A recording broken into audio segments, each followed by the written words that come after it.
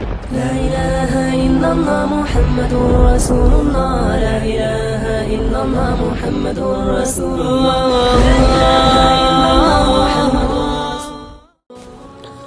کبھی کیا ہوتا ہے کہ ہم کوئی گناہ تو کر لیتے ہیں، لیکن اس گناہ کو کرنے کا احساس ہمیں بعد میں ہوتا ہے۔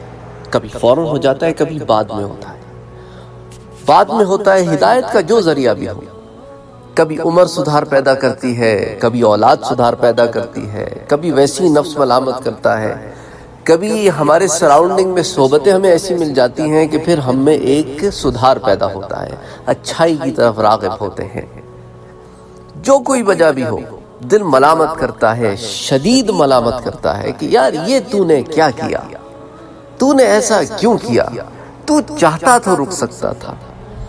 یہ یہ جو ملامت ہے نا یہ ایک ایسا احساس ہے جو اللہ تعالیٰ کی طرف سے انسان کے دل میں پیدا ہوتا ہے۔ جب اللہ تعالیٰ اس کو معاف کرنا چاہتے ہیں، وہ چاہتے ہیں کہ وہ معافی مانگے۔ تو انسان جو ہے، اللہ تعالیٰ کی طرف رغبت کرتا ہے، معافی مانگتا ہے، اپنے گناہوں سے توبہ کرتا ہے اور ان کی طرف دوبارہ نہ پلٹنے کا ارادہ کرتا ہے۔ اسی طرح بعض گناہ ایسے بھی ہوتے ہیں جس میں دوسرے لوگ انوالو ہوتے ہیں۔ ان میں سے ایک چیز پہ بات کرتے ہیں آج مختصراً۔ عام سی بات ہے، معاشرے میں بہت عرصے سے ہوتا رہا ہے ایسا، اور معاشرے کا انفلوئنس بھی ہے اس پر۔ کہ ہم نے زندگی میں لوگوں کو پریشان کیا ہوتا ہے۔ ان میں سے ایک مثال لے لیتے ہیں کہ کبھی ایسے ہوتا ہے کہ جوانی میں لڑکے جو ہیں وہ لڑکیوں کو تنگ کرتے ہیں۔ اور ان کو یہ احساس نہیں ہوتا کہ وہ کیا کر رہے ہیں۔ Technically speaking it is a form of bullying کہ کسی کو بلی کرنا ہے، کسی کو ہراس کرنا ہے۔ It could take a form of sexual harassment it could take many form مختلف قسم ہو سکتی ہیں اس کی۔ یہ بہت گمبھیر مسئلہ ہے، بہت بری بات ہے، بہت غلط بات ہے کہ کسی کی نفسیات سے کھیلنا، کسی کی سائیکالوجی سے کھیلنا اور اس کی طبیعت میں ایک زندگی بھر کے لیے ڈر کا بٹھا دینا۔ کسی کو تنگ کرتے نا آپ، تو اس کے اندر آپ ڈر پیدا کرتے ہیں۔ تو اس کے اندر ایک ڈر پیدا ہو جاتا ہے اور پھر جب انسان کو احساس ہوتا ہے کہ میں نے اس شخص کے ساتھ کیا کیا، وہ تو اس معاملے سے بالکل پرے تھا۔ لیکن میں نے اس کے اندر یہ غلط احساس پیدا کیا تو ایک ملامت ہوتی۔ ہے پھر لوگ جاتے ہیں اور پھر کوشش کرتے ہیں، کبھی ایسے بھی ہوتا ہے کہ کچھ لوگ ہمت کر پاتے ہیں۔ اور ہمت کر کے اس شخص کو فیس کر کے کہتے ہیں کہ آئی ایم سوری مجھے احساس نہیں تھا کہ میں نے آپ کے ساتھ کیا کیا اور میں اپنے کیے پر شرمندہ ہوں اور آپ سے معافی چاہتا ہوں۔ یا کبھی کبھی خواتین بھی اس طرح کا رویہ بعضی دفعہ رکھتی ہیں، تو پھر ان کو بھی احساس ہوتا ہے، پھر وہ بھی اس کے اوپر اپنے آپ کو ملامت کرتی ہیں اور چاہتی ہیں کہ جن کے ساتھ انہوں نے ایسا کیا ہے، وہ انہیں معاف کر دے۔ ادھر یہ کسی بھی جینڈر کے ساتھ ہو سکتا ہے۔ لیکن ہمارے معاشرے میں زیادہ تر جس چیز کے اوپر میں بات کر رہا ہوں کہ خواتین کو مردوں کو تنگ کرنے کا عنصر زیادہ ہے۔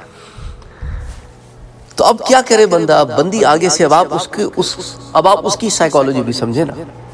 جسے دو تین سال چار سال ایک سال ایک مہینہ دو مہینہ جتنا بھی عرصہ کسی نے تنگ کیا ہو تو اس کی جو زندگی اجیرن کرتی آج آپ کو احساس ہوا ہے تو آپ اس سے معافی مانگ رہے ہیں۔ وہ اس انتظار میں تو نہیں بیٹھی ہوئی تھی نا کہ آپ اس سے آ کے معافی مانگی اور وہ جھٹ سے معاف کرتے وہ اس انتظار میں نہیں بیٹھی ہوئی تھی۔ آپ کو فیس کرنے میں اس کو وہ تمام یادیں یاد آ جاتی ہیں، وہ تمام الجھنے جن سے وہ گزری، وہ تمام خوف کے لمحے جن سے وہ گزری، وہ سب اس کے ذہن میں منڈلاتے ہیں۔ اور خواتین مردوں کی بنسبت نا بہت حساس ہوتی ہیں سینسٹیو ہوتی ہیں، انہیں چیزیں زیادہ جلدی سٹرائک کرتی ہیں اور ان کے ساتھ وہ زیادہ لمبا سٹے کرتے ہیں وہ احساسات۔ بندے اس بات کو سمجھتے نہیں ہیں۔ بندے آپس میں جس طرح ہوتے ہیں نا کہ بھئی چلو ہلکا پھلکا ہوا and then you know you settle down. ان میں ایسا نہیں ہوتا۔ تو وہ بڑا ڈیفرنٹ معاملہ ہوتا ہے خواتین کا۔ تو بہرحال، تو لوگ کہتے ہیں کہ بھئی اس نے معاف نہیں کیا۔ وہ کیسے معاف کر دے؟ اور رائٹ اوے تم پہلی دفعہ ہو اچھا اب اس کے اندر you have to be very careful آپ نے جلدی کنفرنٹ کیا اس کو، اس سے آپ نے معافی مانگی۔ اس نے آپ کو معاف نہیں کیا، آپ کو احساس ہوا ہے، آپ اللہ تعالیٰ سے گناہوں کی معافی مانگتے رہیں اس کے پیچھے نہ پڑ جائیں۔ وہ بھی ایک طریقے کا ہراسمنٹ ہو جاتا ہے کہ بندہ کہتا ہے، یار جان چھوڑو میری، کیوں تھوڑے تھوڑے دنوں کے بعد آ جاتے ہو کہ مجھے معاف کر دو، معاف کر دو۔ تو یہ بھی نہیں کرنا چاہیے، یہ بھی کوئی اچھی بات نہیں، اور ویسے بھی کسی کی خیر عورت سے یوں بات کرنا، اس کی بدنامی کا سبب بھی ہو سکتا ہے۔ تو اس لیے بہتر یہ ہے کہ آپ نے اپنی بات کر دی آپ اپنی بات پر جمے رہے۔ آپ اپروچ کرنے کی دوبارہ ضرورت نہیں ہے آپ کو۔ کیونکہ یہ بات کرنا ٹھیک نہیں ہے۔ اس کے لیے بھی اچھا نہیں ہے آپ کے لیے بھی اچھا نہیں ہے۔ بس آپ اللہ تعالیٰ سے معافی مانگیں اور معافی مانگتے رہیں۔ اور ہو سکے تو اس چیز کو پروموٹ کرنے والے بن جائیں کہ بھائی دیکھو، یہ بات غلط ہے۔ ایسا مت کرو۔ دوسرے کے اوپر اس کا یہ اثر پڑ سکتا ہے۔ اگر تمہارے گھر میں کسی کے ساتھ ایسا ہو تو تم کیسے ریاکٹ کرو گے؟ تمہارے گھر کے اس شخص کے اوپر کیسا گزرے گا؟ تمہاری بہن بھی ہو سکتی ہے، تمہاری بیٹی بھی ہو سکتی ہے، تمہاری بھابی بھی ہو سکتی ہے، تمہاری ماں بھی ہو سکتی ہے، تمہاری خالہ بھی ہو سکتی ہے، تمہاری بوا بھی ہو سکتی ہے، پھوپھی بھی ہو سکتی ہے، کوئی بھی ہو سکتا ہے تمہارے گھر میں۔ تو خدا کے لیے ایسا مت کرو۔ وہ چیز جو تم اپنے لیے نہیں پسند کرتے، دوسرے کے لیے کیسے پسند کرتے ہو؟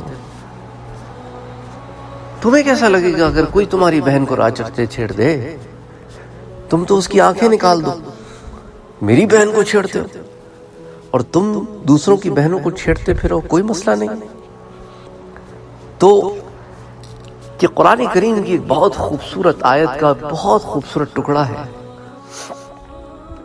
أَلَمْ يَأْنِ لِلَّذِينَ آمَنُوا أَن تَخْشَعَ قُلُوبُهُمْ لِذِكْرِ اللَّهِ؟